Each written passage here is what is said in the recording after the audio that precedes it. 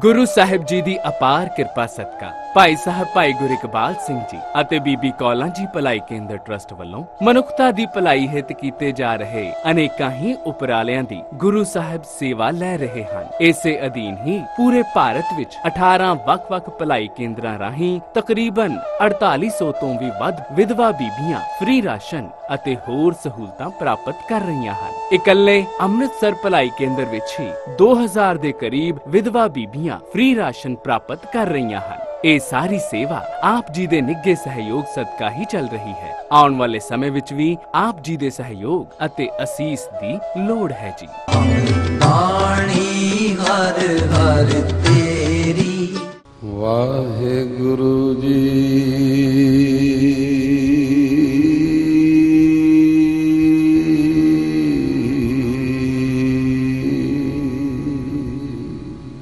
ਕਰ ਕਿਰਪਾ ਪ੍ਰਭ ਸਾਧ ਸੰਗ ਮੇਲੀ। ਮੇਲੀ ਮੇਲੀ ਮੇਲੀ ਮੇਲੀ।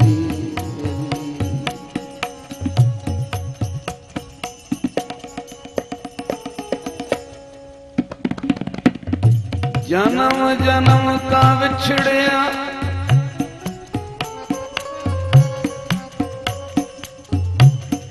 ਗਰੀਬ ਨਿਵਾਜ।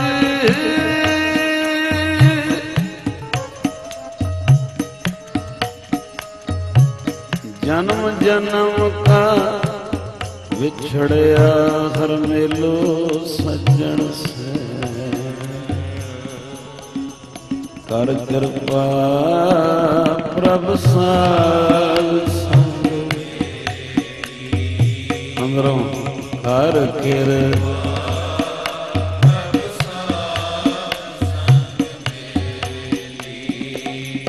ਸੰਗਤ ਚੋਂ ਹੀ ਮੰਜ਼ਲਾ ਮਿਲਣੀ ਹੈ ਕਰ ਕਿਰਪਾ।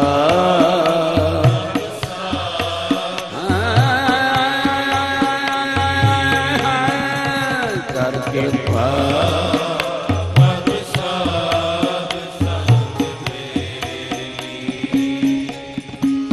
ਜਾਂ ਫਿਰ ਦੇਖਾਂ ਤਾਂ ਮੇਰਾ ਜਾਂ ਫਿਰ ਦੇਖਾਂ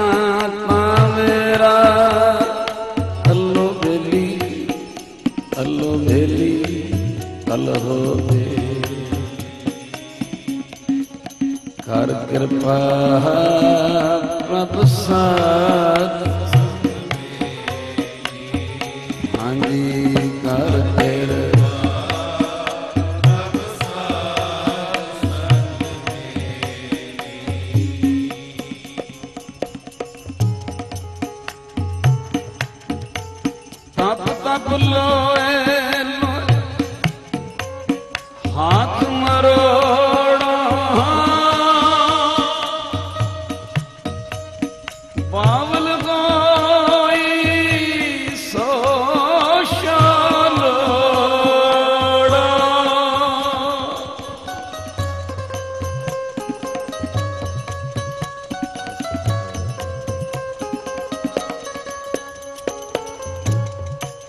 ਤੈ ਸੋ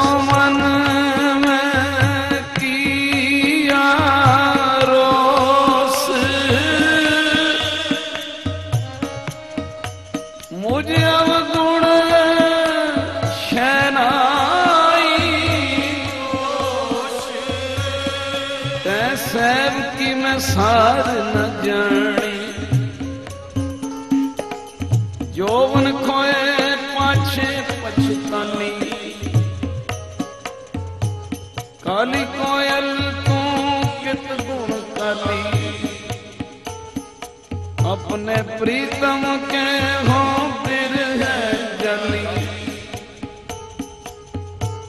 ਫਿਰ ਹੈ ਬਿਹੂਨ ਕਤੇ ਸੁਖ ਪਾਏ ਜਾਂ ਹੋਏ ਕਿਰਪਾਲ ਤਾਂ ਪ੍ਰਭੂ ਮਿਲਾਏ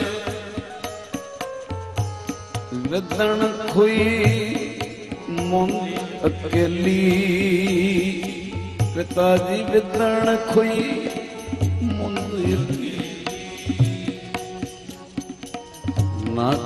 ਕੋ ਸਾਥੀ ਨਾ ਕੋ ਸਾਥੀ ਨਾ ਅੰਦਰੋਂ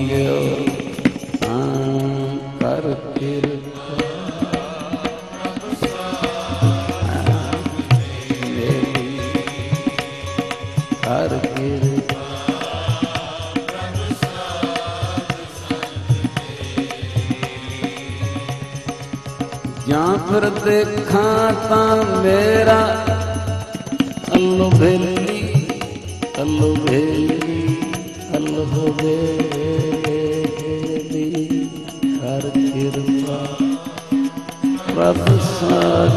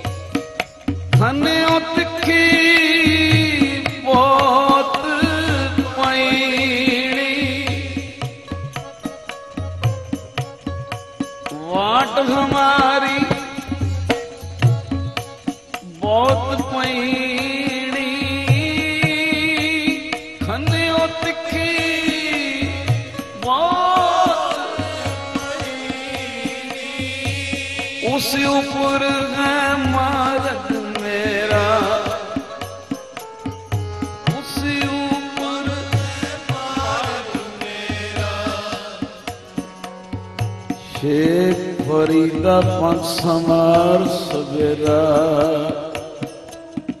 ਸ਼ੇਖ ਫਰੀਦਾ ਪੰਜ ਸਮਾਰ ਕਰ ਕਿਰਪਾ। ਮੇਰੀ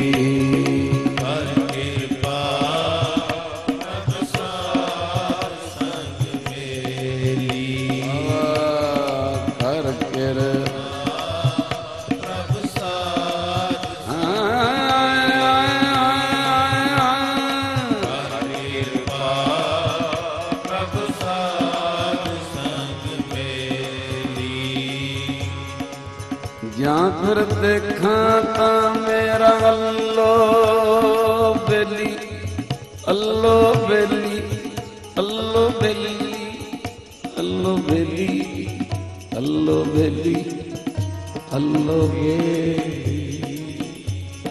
ਕਰ ਕਿਰਪਾ।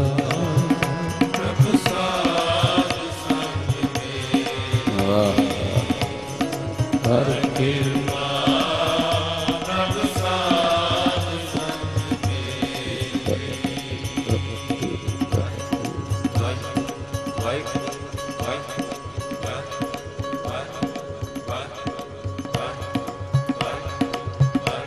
ਕਿਰਪਾ ਪ੍ਰਭ ਸਾਧ ਸੰਗ ਮੇਰੀ। ਕਰ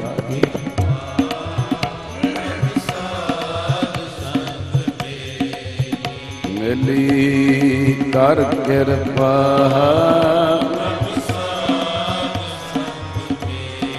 ਮਿਲੀ ਕਰ ਕਿਰਪਾ।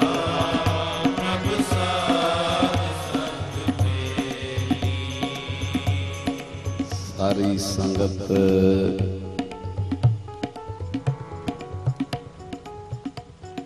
ਗੁਰੂ ਗ੍ਰੰਥ ਸਾਹਿਬ ਦੇ ਪਿਆਰ ਵਿੱਚ ਗੱਜ ਕੇ ਆਖੋ ਸਤਨਾਮ। ਅੰਦਰ ਦੀ ਗੱਲ ਤੁਸੀਂ ਜਾਣਦੇ ਹੋ ਜਾਂ ਗੁਰੂ ਜਾਣਦਾ ਹੈ? ਪਰ ਹੱਥ ਜੋੜ ਕੇ ਬੇਨਤੀ ਹੈ ਇਹ ਅਰਦਾਸਾਂ ਤੁਹਾਡੇ ਅੰਦਰੋਂ ਨਿਕਲਣ। ਇਹ ਬੇਨਤੀਆਂ ਤੁਹਾਡੇ ਅੰਦਰੋਂ ਨਿਕਲਣ। ਇਹ ਜੋਦੜੀਆਂ ਅੰਦਰੋਂ ਨਿਕਲਣ।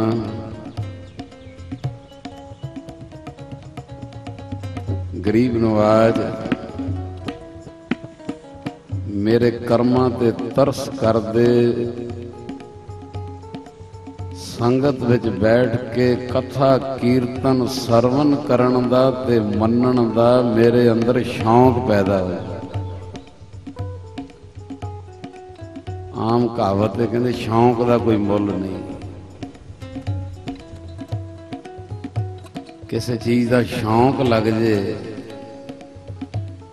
ਉਹ ਆਨੰਦ ਹੀ ਵੱਖਰਾ ਹੈ ਚਾਹ ਲੱਗ ਜੇ। ਇਹ ਅੰਦਰੋਂ ਅਰਦਾਸਾਂ ਮੈਂ ਤੁਹਾਡੇ ਜੋ ਕਈ ਭੈਣਾਂ ਵੇਖਦਾ ਦਰਬਾਰ ਸਾਹਿਬ, ਜਿੱਥੇ ਰਾਗੀ ਸਿੰਘ ਕੀਰਤਨ ਕਰਦੇ ਤੇ ਸਾਹਮਣੇ ਬੰਨੇ ਬੀਬੀਆਂ ਬੈੰਦੀਆਂ ਮੈਂ ਕਈ ਵਾਰੀ ਜਦੋਂ ਵੇਖਦਾ ਕਈ ਤੁਹਾਡੇ ਚੋਂ ਭੈਣਾਂ ਗੁਰੂ ਰਾਮਦਾਸ ਦੇ ਘਰ ਜਿੱਧਰ ਬੀਬੀਆਂ ਬੈਠਦੀਆਂ ਐ ਨੇਤਰ ਬੰਦ ਕਰਕੇ 2-2 ਘੰਟੇ ਡੇਢ-ਡੇਢ ਘੰਟਾ ਐ ਆਪਣੇ ਅਭਿਆਸ ਵਿੱਚ, ਕੀਰਤਨ ਵਿੱਚ, ਸਿਮਰਨ ਵਿੱਚ, ਕਮਾਈ ਵਿੱਚ, ਨਾਮ ਵਿੱਚ ਜਦੋਂ ਚੌਂਕੜਾ ਮਾਰਿਆ ਹੁੰਦਾ ਮਨ ਨੂੰ ਠੰਡ ਪੈਂਦੀ ਹੈ ਕਿ ਸ਼ੁਕਰ ਹੈ ਕਿ ਆ ਸੰਗਤ ਦੇ ਅੰਦਰ ਇੱਕ ਚਾਓ ਆ ਜਾਵੇ, ਚਾਓ ਗੁਰੂ ਰਾਮਦਾਸ ਤੇਰੇ ਦਰ ਤੇ ਵੀ 2-2 ਘੰਟੇ ਚੌਂਕੜੇ ਮਾਰਨੇ ਬਹੁਤ ਖੁਸ਼ੀ। ਤੁਸੀਂ ਹੈਰਾਨ ਹੋ ਜਾਓਗੇ। ਇਹ ਸੰਗਤ ਚ ਆ ਕੇ ਕਈ ਵਾਰੀ ਬੰਦਾ ਸੋਚਦਾ ਮੈਂ ਸਮਾਨੇ ਚੜਿਆ ਹੋਇਆ। ਮੇਰੇ ਵਰਗਾ ਹੀ ਕੋਈ ਨਹੀਂ। ਆਮ ਕਈ ਵਾਰੀ ਆ ਜਾਂਦਾ, ਆਮ ਬੰਦੇ ਦੇ ਦਿਮਾਗ 'ਚ ਥੋੜਾ ਜਿਹਾ ਗੁਰੂ ਘਰ ਵੱਲ ਲੱਗੇ ਤੇ ਆ ਜਾਂਦਾ। ਪਰ ਤੁਹਾਡੇ ਸੰਗਤ ਵਿੱਚ ਇੱਕ ਇਹੋ ਜੀ ਬੱਚੀ ਹੈ ਸਾਧ ਸੰਗਤ ਸਾਡੇ ਵਾਸਤੇ ਅੱਧਾ ਚੁਪਹਿਰਾ ਕੱਟਣਾ ਔਖਾ ਹੈ 3 ਘੰਟੇ ਅੱਧਾ ਚੁਪਹਿਰਾ। ਤੇ ਚੁਪਹਿਰਾ ਕੱਟਣਾ ਹੋਵੇ ਤੇ 6 ਘੰਟੇ ਭਾਵੇਂ ਸ਼ਹੀਦਾਂ ਜਾਂ ਦਰਬਾਰ ਸਾਹਿਬ ਹੈ ਜੀ, ਉਹ ਵੀ ਬੜੀ, ਵਿਲ ਪਾਵਰ, ਕਿਰਪਾ। ਤੇ ਤੁਸੀਂ ਹੈਰਾਨ ਹੋਵੋਗੇ ਤੁਹਾਡੇ ਸੰਗਤ ਦੀ ਇੱਕ ਬੱਚੀ ਸਾਧ ਸੰਗਤ ਦੋ ਚੁਪਹਿਰੇ ਇਕੱਠੇ ਕੱਟਦੀ ਆਖੋ ਸਤਨਾਮ ਐਡੀ ਭੁੱਖ ਐਡਾ ਚਾਵਾ ਐਡਾ ਪਿਆਰ। ਇਹ ਸੰਗਤ ਚ ਆ ਕੇ ਜਦੋਂ ਬੰਦਾ ਸਰਵਣ ਕਰਦਾ ਆਪਣੇ ਤੋਂ ਵੀ ਵਧੇਰੇ ਪਿਆਰ ਕਰਨ ਵਾਲੀਆਂ ਗੱਲਾਂ ਤੇ ਕਈ ਵਾਰੀ ਅੰਦਰ ਚਾਓ ਆ ਜਾਂਦਾ ਇਹ ਕਿਤੇ ਮੇਰੇ ਤੇ ਵੀ ਕਿਰਪਾ ਹੋਏ ਬਖਸ਼ਿਸ਼ ਇਸ ਕਰਕੇ ਕਹਿੰਦੇ ਸੰਗਤ ਮੈਨੂੰ ਬਖਸ਼ ਦੇ ਇਹ ਘੜੀਆਂ ਨਾਲ ਜਾਂਦੀਆਂ। ਸੰਗਤ ਮਹਾਰਾਜ ਬਖਸ਼ ਦੇ ਇੱਥੇ ਆ ਕੇ ਅਗਲੀਆਂ ਕਲਾਸਾਂ ਮਿਲਦੀਆਂ। ਜੇ ਕੋਈ ਨਹੀਂ ਪਹੁੰਚਿਆ ਹੁੰਦਾ ਤੇ ਉਹਨੂੰ ਪਹੁੰਚਣ ਦੀ ਗੱਲ ਮਿਲ ਜਾਂਦੀ ਹੈ। ਜੇ ਕੋਈ ਪਹੁੰਚਿਆ ਹੁੰਦਾ ਤੇ ਆਪਣੇ ਤੋਂ ਵੱਡੇ ਦੀ ਗੱਲ ਸੁਣ ਕੇ ਮਨ ਚ ਹਉਮੈ ਨਿਕਲ ਜਾਂਦੀ ਹੈ। ਇਹ ਵੀ ਬੈਠੇ ਹੋਏ ਆ। ਆ ਸੰਗਤ ਜਾਣ ਦੇ ਲਾਭ ਆਓ, ਅੱਜ 8ਵੀਂ ਕਲਾਸ ਦੀ ਵਾਰੀ ਹੈ। ਇਹ ਬਾਬੇ ਨਾਨਕ ਦੇ ਸਕੂਲ ਦਾ ਪ੍ਰਕਰਣ ਚੱਲ ਰਿਹਾ ਹੈ। ਮਾੜੀ ਮੋਟੀ ਕਲਾਸ ਅਗਾ ਪਿਛਾ ਹੋ ਸਕਦਾ ਹੈ। ਸੋਚ ਹੈ ਮਹਾਂਪੁਰਸ਼ਾਂ ਦੀ। ਗੁਣੀ ਗਿਆਨੀਆਂ ਦੀ। ਪਰ ਅੰਦਾਜ਼ਨ ਕਲਾਸਾਂ ਪੇਸ਼ ਕੀਤੀਆਂ ਜਾ ਰਹੀਆਂ। ਤੇ ਆਓ ਇੱਕ ਵਾਰੀ ਫਿਰ ਪੰਕਤੀਆਂ ਪੜੋ ਤੇ ਫਿਰ ਮਹਾਰਾਜ ਜੀ, ਅੱਜ 8ਵੀਂ ਕਲਾਸ ਦੀ ਸੇਵਾ ਲੈਣ। ਅੰਦਰੋਂ ਅਰਦਾਸਾਂ ਜੀ। ਕਰ ਕਿਰਪਾ, ਪ੍ਰਭ ਸਾਧ ਸੰਗ। ਵੇਲੀ ਵੇਲੀ ਵੇਲੀ ਕਰ ਕਿਰ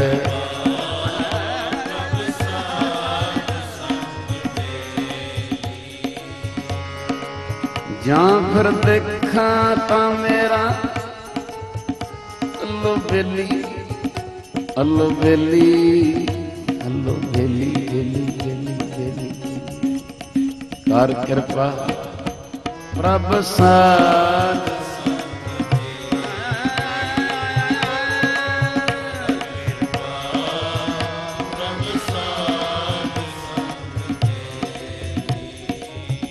ਕੋਈ ਸੰਗਤ ਨਵੀਂ ਆਈ ਹੁੰਦੀ ਹੈ। ਪਹਿਲੀਆਂ 7 ਕਲਾਸਾਂ ਬੋਲ ਕੇ ਤੇ 8ਵੀਂ ਅੱਜ ਮਹਾਰਾਜ ਸੇਵਾ ਲੈ ਗੁਰੂ ਨਾਨਕ ਦੇ ਘਰ ਦੀ ਪਹਿਲੀ ਕਲਾਸ, ਗੁਰੂ ਨਾਨਕ ਦੇ ਸਕੂਲ ਦੀ ਪਹਿਲੀ ਕਲਾਸ। ਗੁਰਬਾਣੀ ਪੜਨ ਲਈ ਅੰਦਰ ਉਦਮ ਆਣਾ ਸ਼ੁਰੂ ਹੋ ਜਾਏਗਾ, ਅਜੇ ਅਰਥ ਨਹੀਂ ਪਤਾ, ਰਸ ਨਹੀਂ ਪਤਾ। ਉਦਮ ਆਉਣਾ ਸ਼ੁਰੂ। ਹੋ ਗਿਆ ਸਿਰਫ ਉਦਮ। ਅਰਥਾਂ ਦਾ ਰਸ ਦਾ ਨਹੀਂ। ਗੁਰੂ ਨਾਨਕ ਦੇ ਘਰ ਦੀ ਦੂਜੀ ਕਲਾਸ ਸੰਗਤ ਕਰਦਿਆਂ ਕਰਦਿਆਂ ਬੰਦਾ ਦੂਜੀ ਚੜ ਜਾਂਦਾ ਹੈ ਪੜ੍ਹਾਈ ਸਕੂਲ ਬਾਬੇ ਨਾਨਕ ਦਾ। ਮਨ ਪੁਣਿਆ ਜਾਂਦਾ, ਚੰਗੇ ਤੇ ਮੰਦੇ ਦੀ ਪਛਾਣ ਹੋ ਜਾਂਦੀ ਅਜੇ ਮੰਦੇ ਕੰਮ ਛੱਡੇ ਨਹੀਂ। ਆਪੋ ਸਾਥ ਵਿੱਚ ਅਜੇ ਨਿੰਦਿਆ ਛੱਡੀ ਨਹੀਂ ਝੂਠ ਛੱਡਿਆ ਨਹੀਂ ਪਛਾਣ ਹੋ ਗਈ। ਇਹ ਦੂਜੀ ਕਲਾਸ ਹੈ ਮਨ ਪੁਣਿਆ ਜਾਣਾ ਵੀ ਪਛਾਣ ਹੋ ਗਈ ਚੰਗੇ ਮੰਦੇ ਦੀ ਭਾਵੇਂ ਅਜੇ ਮੰਦੇ ਤਿਆਗੇ ਨੇ। ਬਾਬੇ ਨਾਨਕ ਦੇ ਸਕੂਲ ਦੀ ਤੀਜੀ ਕਲਾਸ ਚੰਗੇ ਕੰਮਾਂ ਵੱਲ ਰੁਚੀ ਵਧਣੀ ਸ਼ੁਰੂ ਹੋ ਜਾਂਦੀ ਏ ਤੇ ਮਾੜੇ ਕੰਮਾਂ ਵੱਲ ਰੁਚੀ ਘਟਣੀ ਸ਼ੁਰੂ ਹੋ ਜਾਂਦੀ ਆਖੋ ਸਤਨਾਮ। ਹੁਣ ਇਹੋ ਜਿਹੀਆਂ ਗਲਤ ਜਗ੍ਹਾ ਘਟ ਗਈਆਂ ਜਿੱਥੇ ਗਲਤ ਚੀਜ਼ਾਂ ਖਾਧੀਆਂ ਜਾਂਦੀਆਂ ਇਹ ਰੁਚੀ ਉਧਰੋਂ ਘਟਣੀ ਸ਼ੁਰੂ ਹੋ ਜਾਂਦੀ ਇਹ ਤੀਜਾ, ਸਮਝ ਲਓ ਤੀਜੀ ਚ ਹੋ ਗਏ ਜੇ ਇਹ ਹੋ ਜਾਏ। ਬਾਬੇ ਨਾਨਕ ਦੇ ਸਕੂਲ ਦੀ ਚੌਥੀ ਕਲਾਸ ਇੰਦਰੀਆਂ ਤੇ ਕੰਟਰੋਲ ਹੋਣਾ ਸ਼ੁਰੂ ਹੋ ਜਾਂਦਾ ਬਾਬੇ ਨਾਨਕ ਦੇ ਸਕੂਲ ਦੀ ਪੰਜਵੀਂ ਕਲਾਸ ਕੁਝ ਪੁੰਨ ਦਾਨ ਕਰਨ ਵੱਲ ਰੁਚੀ ਵਧਣੀ ਸ਼ੁਰੂ ਹੋ ਜਾਂਦੀ ਹੈ। ਬਾਬੇ ਨਾਨਕ ਦੇ ਸਕੂਲ ਦੀ 6ਵੀਂ ਕਲਾਸ ਗੁਰਬਾਣੀ ਵਿੱਚੋਂ ਰਸ ਆਉਣਾ ਸ਼ੁਰੂ ਹੋ ਜਾਂਦਾ ਰਸ ਆਉਣਾ ਸ਼ੁਰੂ ਹੋ ਗਿਆ ਹੁਣ ਉਸੇ ਗੁਟਕੇ ਤੇ ਇੰਜ ਲੱਗਦਾ ਜਿਵੇਂ ਜਿੱਥੇ ਜਿੱਥੇ ਬਾਣੀ ਚੱਲ ਰਹੀ ਹੈ, ਨਾਲ ਨਾਲ ਕਲਗੀਆਂ ਵਾਲੇ ਦੇ ਚਰਨ ਵੀ ਚੱਲਦੇ ਪਏ। ਉਹ ਵੀ ਚੱਲਦੇ ਰਸ ਸ਼ੁਰੂ ਹੋ ਗਿਆ ਇਹ ਮੈਂ ਕੀ ਸਵਾਦ ਦੱਸਾਂ ਤੁਹਾਡੇ ਨਾਲ ਜਿਹਦੇ ਨਾਲ ਬੀਤਦੀ ਹੋਈ। ਜਿਵੇਂ ਆਪ ਜੀ ਨੂੰ ਬੇਨਤੀ ਕੀਤੀ, ਅੱਖ ਦੀ ਪਲਕ ਵੀ ਨਹੀਂ ਝਪਕਦੀ, ਫਿਰ ਇੱਕ ਇੱਕ ਦੋ ਦੋ ਅਸ਼ਟਪਦੀਆਂ, ਇੱਕ ਅੱਖ ਦੇ ਵਿੱਚ ਸ਼ੇਰ ਅੱਖ 'ਚ ਹੀ ਲੰਘਦੀਆਂ, ਗੱਜ ਕੇ ਆਖੋ ਸਰ। ਵਿੱਚੋਂ ਰਸ ਚੋਣਾ ਸ਼ੁਰੂ। ਗੁਰੂ ਨਾਨਕ ਬਾਬੇ ਦੇ ਸਕੂਲ ਦੀ 7ਵੀਂ ਕਲਾਸ ਗੁਰਬਾਣੀ ਦੀ ਡੁੰਗਿਆਈ ਵਿੱਚ ਜਾਣਾ ਸ਼ੁਰੂ ਹੋ ਜਾਂਦਾ, ਆਖੋ ਸਤਨਾਮ। ਵਿੱਚੋਂ ਰਤਨ ਲੱਭਣੇ ਸ਼ੁਰੂ ਹੋ ਜਾਂਦੇ। ਤੇ ਅੱਜ 8ਵੀਂ ਕਲਾਸ ਇਹ ਦਾਸ ਕੋਲੋਂ ਗੁਰੂ ਬੁਲਾਵੇ ਤੇ ਤੁਸੀਂ ਫਿਰ ਹੁਣ ਨਾਲ ਨਾਲ ਵੇਖਣਾ ਹੈ ਕਿ ਕਿਵੇਂ ਅੰਦਰ ਦਾ ਸਾਰਾ ਵਜੂਦ ਹੈ। ਮਹਾਰਾਜ 8ਵੀਂ ਕਲਾਸ ਦੀ ਸੇਵਾ ਲੈਣ।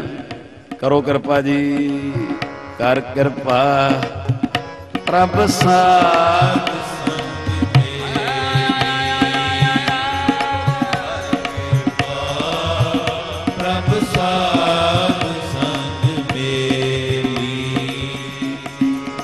ਜਾਂ ਫਿਰ ਦੇਖਾਂ ਤਾਂ ਮੇਰਾ ਅੱਲੋ ਬੇਲੀ ਅੱਲੋ ਬੇਲੀ। ਅੱਲੋ ਬੇਲੀ ਅੱਲੋ ਬੇਲੀ ਅੱਲੋ ਬੇਲੀ। ਕਰ ਕਿਰਪਾ ਪ੍ਰਭ ਸਾਧ ਸੰਗ ਮੇਰੀ ਹਾਂ ਕਰ ਕਿਰਪਾ। ਪ੍ਰਭ ਸਾਧ ਬੋਲੋ ਜੀ ਕਰ ਕਿਰਪਾ।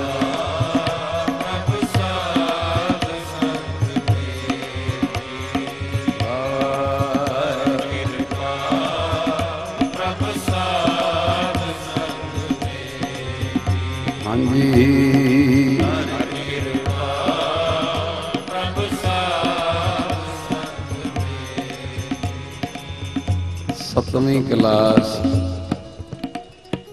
ਗੁਰਬਾਣੀ ਦੀ ਡੁੰਗਿਆਈ 'ਚ ਜਾਣਾ ਸ਼ੁਰੂ। ਅੱਠਵੀਂ, ਅੱਜ ਵਾਰੀ ਅੱਠਵੀਂ। ਦੀ ਬਾਬੇ ਨਾਨਕ ਦੇ ਸਕੂਲ ਦੀ ਅੱਠਵੀਂ ਕਲਾਸ। ਓਹੋ। ਅੱਠਵੀਂ ਕਲਾਸ, ਧਿਆਨ ਦੇਣਾ। ਗੁਰੂ ਨਾਨਕ ਦੇ ਸਕੂਲ ਦੀ 8ਵੀਂ ਕਲਾਸ ਹੈ ਤਾਂ ਉੱਚੀ ਹੈ, ਪਰ ਜਿਵੇਂ ਗੁਰੂ ਬੁਲਾਵੇ ਆ। ਗੁਰੂ ਨਾਨਕ ਦੇ ਸਕੂਲ ਦੀ 8ਵੀਂ ਕਲਾਸ ਤੁਹਾਡੇ ਅੰਦਰੋਂ ਇਹ ਗੁਣ ਨਜ਼ਰ ਆਣੇ ਸ਼ੁਰੂ ਹੋ ਜਾਣਗੇ। 8ਵੀਂ ਕਲਾਸ ਖਾਣ ਵਿੱਚ ਤੇ ਹੋਰ ਕਈ ਕਿਰਿਆ ਵਿੱਚ ਸਾਦਗੀ ਆਣੀ ਸ਼ੁਰੂ ਹੋ ਜਾਏਗੀ। ਆਖੋ ਸਤਨਾਮ। ਖਾਣ ਵਿੱਚ ਤੇ ਹੋਰ ਕਿਰਿਆ ਚ ਸਾਦਗੀ ਆ ਗਈ।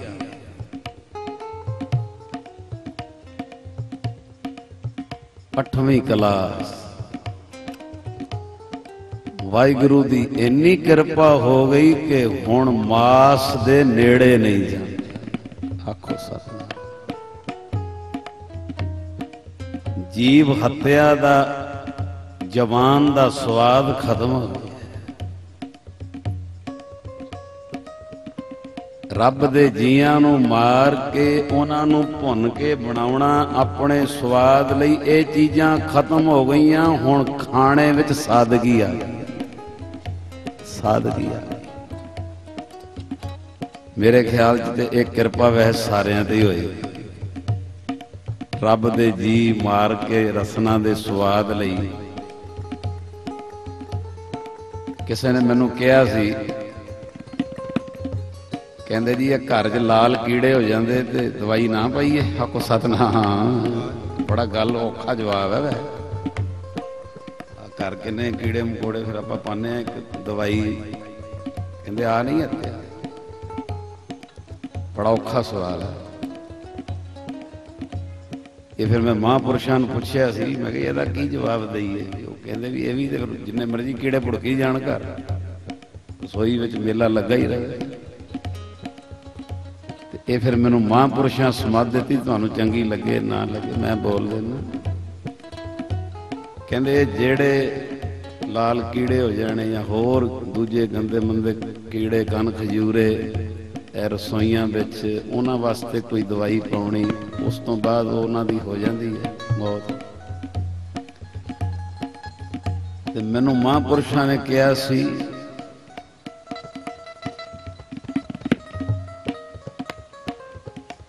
ਇਹ ਜੋ ਅਸੀਂ ਕਰਦੇ ਆ ਇੱਕ ਅਲੱਗ ਗੱਲ ਹੈ, ਜਿਹੜਾ ਆਪਣੀ ਜ਼ਬਾਨ ਦੇ ਸਵਾਦ ਵਾਸਤੇ ਕਿਸੇ ਨੂੰ ਮਾਰ ਕੇ ਖਾਣਾ, ਉਹ ਪਾਪ ਬਣਦਾ ਹੈ। ਆਖੋ ਸਤਨਾਮ। ਜਦੋਂ ਜ਼ਬਾਨ ਦੇ ਸਵਾਦ ਲਈ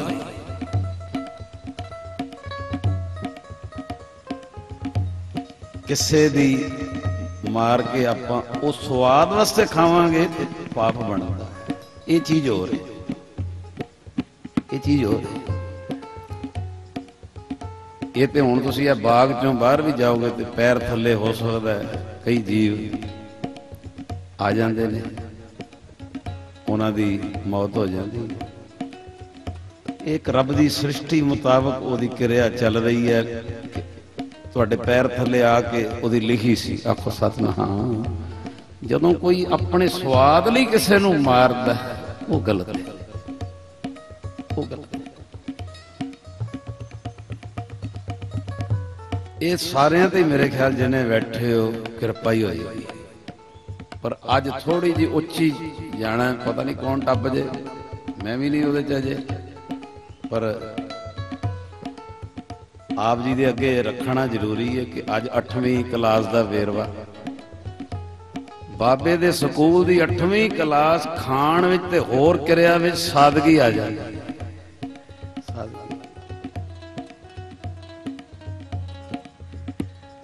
ਬੜੇ ਪਹੁੰਚੇ ਹੋਏ ਰਾਈਟਰ ਜਿਨ੍ਹਾਂ ਨੂੰ ਪ੍ਰਾਪਤੀ ਹੋਈ। ਰਗਵੀਰ ਸਿੰਘ ਦੀ ਵੀਰ।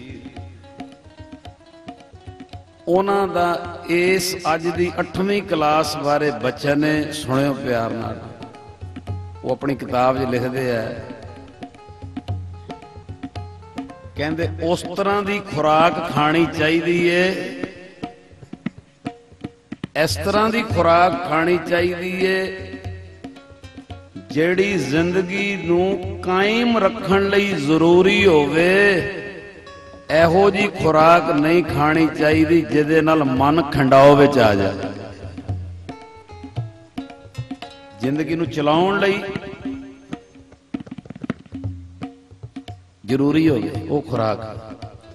ਜਿਹਦੇ ਨਾਲ ਮਨ ਖੰਡਾਓ ਚ ਆ ਜੇ ਇਹੋ ਜੇ ਤੇਜ਼ ਮਿਰਚ ਮਸਾਲੇ ਮਨ ਖੰਡਾਓ ਚ ਆ ਜੇ ਮਨ ਵਿਕਾਰਾਂ ਚ ਆ ਜੇ ਉਹਦਾ ਪਰਹੇਜ਼ ਆਖੋ ਸਤਿਨਾਮ।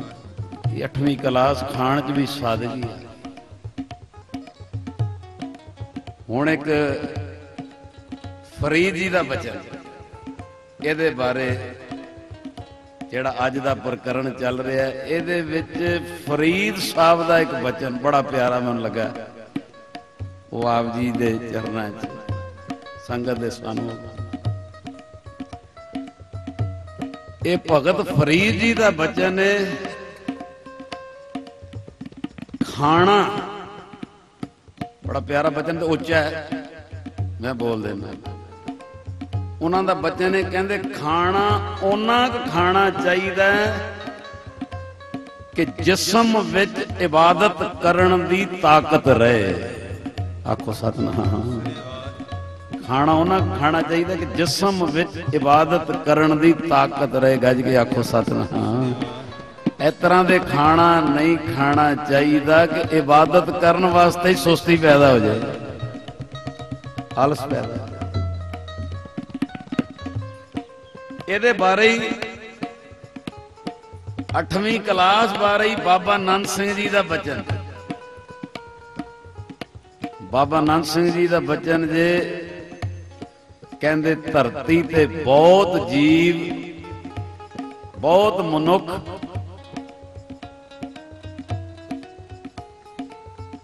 ਖਾਣ ਲਈ ਜੀਂਦੇ ਨੇ।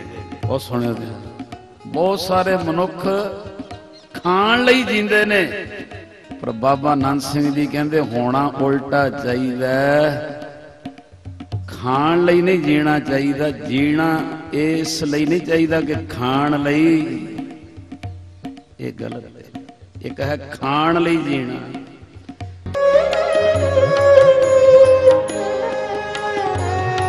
ਸ਼੍ਰੀ ਗੁਰੂ ਗ੍ਰੰਥ ਸਾਹਿਬ ਜੀ ਦੀ ਵਿਚਾਰਧਾਰਾ ਤੇ ਆਧਾਰਿਤ ਆਤਮ ਪ੍ਰਗਾਸ ਸੋਸ਼ਲ ਵੈਲਫੇਅਰ ਕੌਂਸਲ ਵੱਲੋਂ ਜੀਵੀਏ ਗੁਰਬਾਣੀ ਨਾਲ ਲਹਿਰ ਤਹਿਤ ਵਿਦਿਅਕ ਅਦਾਰਿਆਂ ਵਿੱਚ ਨਵ ਚੇਤਨਾ ਦਾ ਕਾਰਜ ਆਰੰਭ ਕੀਤਾ ਗਿਆ ਹੈ। ਜੀਵੀਏ ਗੁਰਬਾਣੀ ਨਾਲ ਲਹਿਰ ਦੇ ਸੁਨੇਹੇ ਨੂੰ ਹਰ ਵਿਦਿਅਕ ਅਦਾਰੇ ਤੱਕ ਪਹੁੰਚਾਉਣ ਲਈ ਪ੍ਰਮੁੱਖ ਵਿਦਿਅਕ ਸੰਸਥਾਵਾਂ ਅਤੇ ਵਿਦਵਾਨਾਂ ਦੇ ਸਹਿਯੋਗ ਨਾਲ ਮਿਤੀ 5 ਅਤੇ 6 ਸਤੰਬਰ 2015 ਨੂੰ all India Pingalwara charitable society Manawala Shri Amritsar Sahib ਵਿਖੇ ਸੱਚਿਆਰ ਮਨੁੱਖ ਦੀ ਘਾੜਤ ਲਈ ਵਿਦਿਅਕ ਸੰਸਥਾਵਾਂ ਦੀ ਭੂਮਿਕਾ ਵਿਸ਼ੇ ਤੇ ਅੰਤਰਰਾਸ਼ਟਰੀ ਵਿਦਿਅਕ ਕਾਨਫਰੰਸ ਕਰਵਾਈ ਜਾ ਰਹੀ ਹੈ ਡਾਕਟਰ ਇੰਦਰਜੀਤ ਕੌਰ ਸਰਪ੍ਰਸਤ ਆਤਮ ਪ੍ਰਗਾਸ ਸੋਸ਼ਲ ਵੈਲਫੇਅਰ ਕੌਂਸਲ ਅਤੇ ਮੁਖੀ ਪਿੰਗਲਵਾੜਾ ਵੱਲੋਂ ਨਰੋਏ ਸਮਾਜ ਦੀ ਸਿਰਜਣਾ ਲਈ ਚਾਹਵਾਨ ਸਮੂਹ ਵਿਦਿਅਕ ਸੰਸਥਾਵਾਂ ਦੇ ਪ੍ਰਬੰਧਕਾਂ ਅਤੇ ਪ੍ਰਿੰਸੀਪਲ ਸਹਿਬਾਨ ਨੂੰ ਕਾਨਫਰੰਸ ਵਿੱਚ ਭਾਗ ਲੈਣ ਲਈ www.atampargas.org ਤੇ ਰਜਿਸਟਰ ਕਰਨ ਦੀ ਅਪੀਲ ਕੀਤੀ ਜਾਂਦੀ ਹੈ। ਵਧੇਰੇ ਜਾਣਕਾਰੀ ਲਈ ਇਸ ਪਤੇ ਅਤੇ ਨੰਬਰਾਂ ਤੇ ਸੰਪਰਕ ਕਰ ਸਕਦੇ ਹੋ ਜੀ।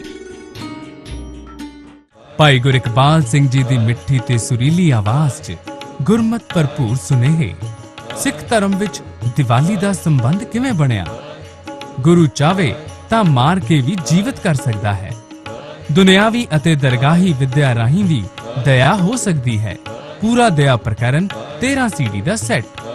ਇਹ ਨੰਬਰ ਅਤੇ ਇਹਨਾਂ ਤੋਂ ਇਲਾਵਾ 350 ਤੋਂ ਵੀ ਵੱਧ CD, VCD, MP3 ਅਤੇ DVD ਦੇ ਨੰਬਰ। ਆਪ ਜੀ ਬੀਬੀ ਕੌਲਾਂ ਜੀ ਭਲਾਈ ਕੇਂਦਰ ਟਰਸਟ ਤਰਨਤਾਰਨ ਰੋਡ ਸ਼੍ਰੀ ਅੰਮ੍ਰਿਤਸਰ ਸਾਹਿਬ ਤੋਂ ਜਾਂ ਘਰ ਬੈਠੇ ਹੀ ਪ੍ਰਾਪਤ ਕਰ ਸਕਦੇ ਹੋ ਦੋ VCD ਦਾ ਸੈੱਟ ਹਰ ਮਹੀਨੇ ਆਪ ਜੀ ਦੇ ਘਰ ਕੋਰੀਅਰ ਰਾਹੀਂ ਵੀ ਪਹੁੰਚ ਸਕਦਾ ਹੈ ਪੂਰੀ ਜਾਣਕਾਰੀ ਲਈ ਸੰਪਰਕ ਕਰੋ 98765 25860